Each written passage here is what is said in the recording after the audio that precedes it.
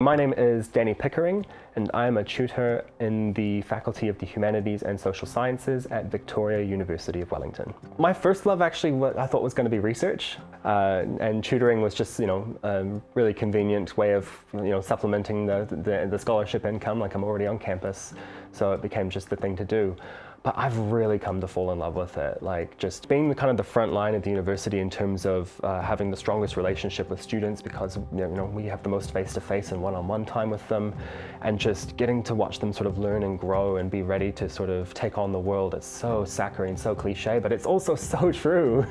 I think one of the hugest things, and it's one that the university loves to sweep under the rug, is just how much pastoral care work tutors end up doing. The official university policy is that tutors don't do pastoral care work. That when a student is going through a struggle of some sort, um, we get them sorted in terms of their study plan to get back on their feet and everything. But when it comes to actually helping them, we are supposed to pass them on to um, the relevant campus service, whatever it is. In practice, this is not how it works. What students end up doing is not seeking out the requisite campus service, they just go to the people that they know and trust the best. And because their tutors are the people that they get the most one-on-one -on -one time with and the most face-to-face -face time with, in an ideal non-COVID situation, um, they come to us first.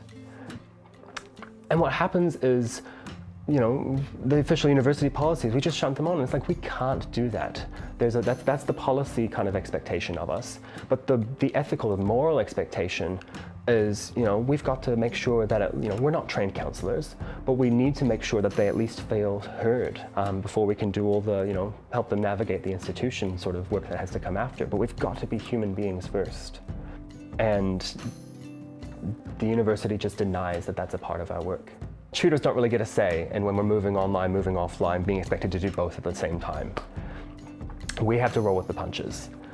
Um, but then there's also the expectation now that we are supposed to be able to, um, yeah, switch both and do go online, go offline. So moving back and forth, I've seen trimester after trimester since the pandemic started that students drop off at rates that they weren't before the pandemic because we constantly have to shift mediums, the medium in which we're teaching. It's basically working two jobs because teaching online and sometimes it can feel like pulling teeth trying to get students to participate because we're trying to teach it in the same way that we teach offline and it, it's not the same. It's not that it can't be, you know, equivalent and you get the similar outcomes from it, but it's just we're not trained to do online teaching. We're trained to do offline teaching and have these kinds of face-to-face -face connections. And you know, a best practice for how to do stuff online hasn't quite emerged yet. But the university doesn't acknowledge that that work is basically doing two jobs at once. Um, in fact, it refuses to acknowledge that at, at Vic Uni. And so we're stuck doing twice as much work for the same pay, basically. I think the most important issue uh, in tertiary education at the moment has a lot to do with precarity. Um, and that's like at the core of the issue, right? Is so many of us are precarious workers. We live contract to contract.